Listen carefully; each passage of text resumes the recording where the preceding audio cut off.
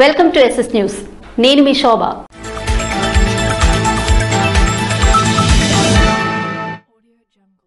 Srikakulam AP HB కాలనీలో విశ్రాంతి ఉద్యోగ ఉపాధ్యాయుల సంక్షేమ సంఘం భవనాన్ని రెవెన్యూ మంత్రి ధర్మాన ప్రసాదరావు ప్రారంభించారు. శ్రీకాకుళంలోని స్థానిక ఏపీహెచ్బి కాలనీలో కొత్తగా ఏర్పాటు చేసిన విశ్రాంత ఉద్యోగ ఉపాధ్యాయుల సంక్షేమ సంఘం భవనాన్ని రెవెన్యూ మంత్రి ధర్మాన ప్రసాదరావు ప్రారంభించారు. ఈ సందర్భంగా ఆయన మాట్లాడుతూ అన్ని వర్గాలకు ఉపయోగపడే విధంగా భవనం ప్రారంభించడం సంతోషంగా ఉందన్నారు. అందుకు అవసరమైన నిధులు అందించిన అందరికీ కృతజ్ఞతలు తెలిపారు. అక్కడ సీసీ కెమెరాలు ఏర్పాటు చేయాలని కోరారు. ఇప్పటికే ఈ విషయమై మున్సిపల్ కమిషనర్ను ఆదేశించినట్లు తెలిపారు. కాలనీలో మిగిలిన సమస్యలన్నీ డిసెంబర్లోగా పరిష్కరిస్తామని హామీ ఇచ్చారు. ఇక్కడ దేవాలయం దగ్గర డ్రైనేజీని పూర్తిగా పునర్నిర్మిస్తామని పేర్కొన్నారు. అలానే స్థానిక సమస్యల పరిష్కారానికి ప్రాధాన్యమిస్తామని స్పష్టం చేశారు. కమిషనర్తో ట్రాఫిక్ జంక్షన్స్లో వాటిల్లో పెడుతున్నాం మనం ఇప్పటి వరకు. రెసిడెన్షియల్ ఏరియాస్లో మనం ఎక్కడ పెట్టడం లేదు. కానీ మీరు వెళ్ళారు కదా అడిగారు అడిగి ఉంటారు వాళ్ళు. ఇచ్చేస్తామని చెప్పండి వాళ్ళకి పెట్టేద్దామని మున్సిపాలిటీతో తర్వాత అది ఫాలో అప్ చేసుకోమని కోరుతాం మొన్ననే సంక్షేమ సంఘానికి ఈ కాలనీ సంఘానికి సంబంధించి మన శ్రీని కానీ రఘు కానీ మిగతా అప్పారావు గారు కానీ పార్వతీశం గారు మరి బలరాం గారు అనేక మంది పెద్దలు అవి వచ్చారు. వచ్చినప్పుడు వాళ్ళు ఎవరు చెప్- నేను చెప్తున్నారు ఏవో చెప్తుంటే వాళ్ళు చెప్పాను ఈ కాలనీలో మిగిలిపోయిన సమస్యలు ఏమి ఉంటాయి అన్నీ రచించండి ఇప్పుడు ఈ డిసెంబర్లోపే అన్నీ పూర్తి చేసేస్తామని చెప్పాం. డిసెంబర్ తర్వాత మేము ఎప్పుడైనా మా టర్మ్ అయిపోతుంది కనుక మేము ఉన్నప్పుడే చేసేద్దాం అన్నటువంటి సంకల్పంతో ఇవన్నీ పెట్టుకున్నాం. ఇప్పుడే ఈమె దేవాలయం ముందు ఉన్నటువంటి డ్రైన్స్ గురించి చెప్పారు. అవన్నీ కూడా ఒకదాంట్లో ఒక తెచ్చేయండి. ఈచ్ అండ్ ఎవ్రీ వర్క్ సపరేట్గా రాయండి. అన్ని ఎస్టిమేట్లు వేసి శాంక్షన్స్ ఇచ్చేసి పనులు ప్రారంభించే పని చేస్తాం మా స్నేహితుడు బాబ్జీ ఉండేవాడు. అలాగే ఎగల్ రామకృష్ణ గారు ఉండేవారు టంకాల బాబ్జీ గారు ఉండేవారు. వాళ్ళ అన్నయ్య అడిగాడు రే ప్రసాద్ ఎప్పుడు ఎగల్ రామకృష్ణ ఇంటికి వెళ్ళిపోతాడు? అది మన ఇంటికి పిలుస్తారు ఆడేమిరా? అని అడిగాడు అడిగితే బాబ్జీ చెప్పు. ఎప్పుడైనా ఏ ప్రతినిధి అయినా ప్రతినిధి కానీ ఎవడైనా వెళ్తారంటే ఎవరింటికి వెళ్తే ఏమి అడగరు. వాళ్ళ ఇంటికి వెళ్తారు. ఇంటికి వెళ్తే అడిగితే అడిగినోడు ఇంటికి మరి రారు. ఇక్కడ అడుగుతాడు భయంకి అట్లా మీరు ఎన్నిసార్లు పిలిచినా రావాలని అనిపిస్తుంటే మీరు ఇస్తున్న ఆశీర్వాదం మీరు ఇస్తున్నట్టు చూపిస్తున్న ప్రేమ నా గురించి చెప్పే మంచి మాటలు మిమ్మల్ని వదులుకోవాలని ఎవరు అనుకుంటారు? ఎప్పుడు మీతోటే ఉండాలని మీ ఆశీర్వాదం పొందాలని మీ సహకారం పొందుతూ ఉండాలని. టంగుటూరి ప్రకాశం పంతులు చిత్రపటానికి పూలమాలలు వేసి నివాళులర్పించిన జిల్లా కలెక్టర్ శ్రీకేష్ బి. లాడ్కర్ ఆంధ్రకేసరి టంగుటూరి ప్రకాశం పంతులు జయంతి వేడుకలను ఘనంగా నిర్వహించారు. ఇందులో భాగంగా కలెక్టర్ శ్రీకేష్ బి లాడ్కర్ బుధవారం కలెక్టర్ కార్యాలయ సమావేశ మందిరంలో టంగుటూరి ప్రకాశం పంతులు చిత్రపటానికి పూలమాలలు వేసి జ్యోతి ప్రజ్వలన గావించి ఘన నివాళులర్పించారు కార్యక్రమంలో కలెక్టర్ మాట్లాడుతూ ఆంధ్రకేసరి టంగుటూరి ప్రకాశం పంతులు సేవలు గుర్తించిన ప్రభుత్వం ఆయన పేరు ఒక జిల్లాకు పెట్టడం జరిగిందన్నారు. పంతొమ్మిది వందల నలభై యాభైవ దశకంలో ఆంధ్ర రాజకీయాల్లో ఆయన పాత్ర కీలకమైనదని గుర్తు చేశారు. నిరుపేద కుటుంబంలో పుట్టి వారాలు చేసుకుంటూ చదువుకుని ఆంధ్ర రాష్ట్రానికి మొదటి ముఖ్యమంత్రి కావడం గొప్ప విషయమన్నారు. సైమన్ కమిషన్కు వ్యతిరేకంగా ప్రదర్శనలు పోలీసు తూటాలకు గుండె నొక్కిన సంగతులను వివరించారు. ప్రకాశం పంతులు ఇచ్చిన స్ఫూర్తి ఆశయ సాధన అందరికీ ఆదర్శం కావాలన్నారు. టంగుటూరు ప్రకాశం పంతులు మాట బాటలోనే అందరూ అడుగులు వేయాలన్నారు. కార్యక్రమంలో జిల్లా రెవెన్యూ అధికారి మురళీకృష్ణ ఎస్సీ కార్పొరేషన్ ఈడి గడ్డెమ్మ జిల్లా వెనుకబడిన తరగతుల అధికారి అనురాధ అధికారులు తదితరులు పాల్గొన్నారు. Srikakulam town sub division police కార్యాలయాన్ని జిల్లా ఎస్పీ జిఆర్ రాధిక సందర్శించారు. వార్షిక తనిఖీల్లో భాగంగా మంగళవారం జిల్లా SP GR Radhika Srikakulam town sub division police కార్యాలయాన్ని సందర్శించి పలు ముఖ్యమైన రికార్డుల నిర్వహణ ముఖ్యమైన గ్రేవ్ కేసుల దర్యాప్తుపై కేసు ఫైల్స్ క్షుణ్ణంగా తనిఖీ చేశారు. సబ్ డివిజన్ పరిధిలోని నేర నియంత్రణకు పటిష్ట చర్యలు తీసుకోవాలన్నారు.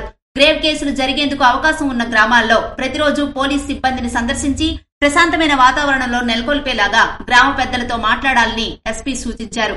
పెండింగ్లో ఉన్న గ్రేవ్ పోక్సో ఎస్సీ ఎస్టీ కేసులు దర్యాప్తు వేగవంతం చేయాలన్నారు. గస్తీ నిర్వహణ పగడ్బందీగా అమలు చేయాలని సూచించారు. అదేవిధంగా రోడ్డు భద్రతా నియమాలు సైబర్ నేరాలపై ప్రజలకు విస్తృతంగా అవగాహన కల్పించి రోడ్డు ప్రమాదాల నివారణకు ప్రత్యేక చర్యలు తీసుకోవాలని పోలీస్ అధికారులకు దిశానిర్దేశాలు చేశారు. నరసనపేట రాజుల చెరువు అభివృద్ధి అంతేనా అంటూ సెల్ఫీ ఛాలెంజ్ చేసిన మాజీ శాసనసభ్యులు బగ్గు రమణమూర్తి. నరసనపేట పట్టణంలో నడిబొడ్డున ఉన్న రాజుల చెరువు ప్రజలకు అందుబాటులో ఉండే విధంగా గత ప్రభుత్వం ప్రణాళికలు చేసి నిధులు మంజూరు చేసిందని మాజీ ఎమ్మెల్యే భగ్గు రావణమూర్తి అన్నారు.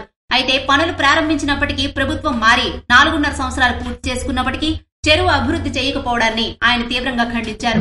ఈ సందర్భంగా ఆయన మాట్లాడుతూ స్వయాన రాష్ట్ర ముఖ్యమంత్రి జగన్మోహన్ రెడ్డి నవంబర్ ఇరవై మూడున నరసనపేట విచ్చేసి రాజుల చెరువు అభివృద్ధికి పది కోట్లు ప్రకటించి హామీ ఇచ్చి పదకొండు నెలలు పూర్తి అయినప్పటికీ నేటికి అతీగతి లేదని విమర్శించారు. అటువంటి పరిస్థితుల్లో ఇక్కడ అధికార పార్టీ నాయకులు ఉన్నారు అని ఈ పరిస్థితిని చూసి పట్టణ ప్రజలు అయోమయంలో పడి ఉన్నారని అన్నారు. గత తెలుగుదేశం పార్టీ హయాంలో తాను శాసనసభ్యుడిగా ఉన్నప్పుడు పట్టణ ప్రజల ఇబ్బందులను మంచినీటి సమస్యని మరియు వాకింగ్ ట్రాక్ దృష్టిలో పెట్టుకుని చెరువు అభివృద్ధి చేయాలనే దృక్పథంతో పర్యాటక శాఖ నుండి సుమారు కోటికి పైగా నిధులు మంజూరు చేసి పనులు ప్రారంభించినప్పటికీ వర్షాభావ ప్రభావం వల్ల పనులు ఆలస్యం జరిగినప్పటికీ సుమారు అరవై శాతం పనులు పూర్తి చేసుకోవడం జరిగిందని అన్నారు. ఇంతలోనే ఎన్నికలు రావడం ప్రభుత్వం మారి వెంటనే రాజకీయ నెపంతో పనులు నిలిపేసి రాజుల చెరువును ప్రభుత్వ పెద్దలు మరియు నాయకులు ఆక్రమణలు చేస్తున్నారని ఎద్దేవా చేశారు. కార్యక్రమంలో మండల పార్టీ అధ్యక్షులు సింహ చంద్రశేఖర్ మాజీ సర్పంచ్ గొద్దు చిట్టిబాబు బోండ వెంకటేశ్వరరావు తదితరులు పాల్గొన్నారు. రాజుల చెరువు అనేది ఈ నర్సన్నపేట పట్టణంలో ఒక ల్యాండ్ మార్క్. అంటే రాజుల చెరువు గట్టు అనేది ఈవేళ కాదు పూర్వం నుంచి రాజుల చెరువులో వచ్చి స్నానాలు చేయడం కానీ శుభకార్యాలు జరిగినా లేకపోతే అశుభ కార్యాలు జరిగినా కార్యక్రమాలు చేసేవాళ్ళు అక్కడ. ఒక ఇంట్లో బారసాలు జరిగితే అక్కడికి వచ్చి తప్పక ముక్కుకెళ్ళేవాళ్ళు లేదు ఒక వివాహ సందర్భం జరిగితే ఇక్కడికి వచ్చి ఇక్కడికి వచ్చే అమ్మవారిని దర్శనం చేసుకుని అక్కడ ఆ నీళ్ళు తలపైన వేసుకుని వెళ్ళే పరిస్థితి ఉండేది. ఏదో అపశుభం జరిగినా అక్కడ కీడు కార్యక్రమాలు చేసేవారు. అటువంటి ప్రాముఖ్యత గల చెరువు రాజుల చెరువు. ఈ రాజుల చెరువుని అభివృద్ధి చేయాలి. ఈ రాబుల చెరువుని సర్వాంగ సుందరంగా తీర్చిదిద్దాలనే ఆలోచనతో నేను శాసనసభ్యుడిగా ఉన్నప్పుడు యాభై రెండు లక్షల రూపాయలు మరి టూరిజం కింద చుట్టూ వాకింగ్ ట్రాక్ గురించి అలాగే ఈ చెరువుని పూడిక కంప్లీట్ తీసి ఈ చెరువును పూర్వ స్థితికి తేడానికి యాభై లక్షల రూపాయలు నిధులు మంజూరు చేసి పనులు కలిపి స్టార్ట్ చేశాం.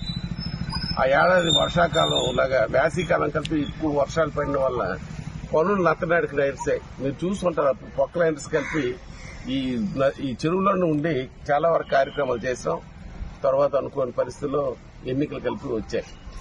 అలాగే మన గ్రామ పంచాయతీ నుంచి మధ్యలో ఒక సూర్యుని ఒక స్టాచ్యూ పెట్టాలనే ఆలోచనతో పది లక్షల రూపాయలు మంజూరు చేసి దాన్ని ఫౌండేషన్ వేసి పిల్లర్ స్టేజ్ వరకు స్టేజ్ దాని మీద మనం సూర్యుని యొక్క స్టాచ్యూ మీద అలంకరణ చేయడానికి మిగతా డబ్బులు ఖర్చు పెట్టలేము. అలాగే ఏదైతే మట్టి పనికి మనం యాభై రూ- యాభై లక్షల రూపాయలు ఇచ్చామో దాంట్లో చాలా వరకు డబ్బులు కలిపి ఇట్లే చేశాం. మరి చుట్టూ అభివృద్ధి చేయాలనే ఆలోచనతో ఇచ్చిన యాభై రెండు లక్షల రూపాయల్లో మరి పనులు స్టార్ట్ చేయడానికి ఈ పని పూర్తయిన తర్వాత చేయాలనే ఆలోచనతో ఆగింది. మరి ఆ విధంగా అలాగే ఇక్కడ ఏదైతే స్నానాలు కడుతుందో ఈ స్నానాలకి అక్కడ ఘాట్ కింద అభివృద్ధి చేయడానికి కలిపి ఎస్టిమేట్లో ఉంది. అదొక సర్వాంగ సుందరంగా రాజుల చెరువుని అభివృద్ధి చేద్దాం అనే ఆలోచనతో పనిచేస్తే మరి నేటికి అతి గతి లేదు. నాలుగున్నర సంవత్సరాలు అయిపోయింది ఎన్నికలకు రెడీగా ఉన్నారు.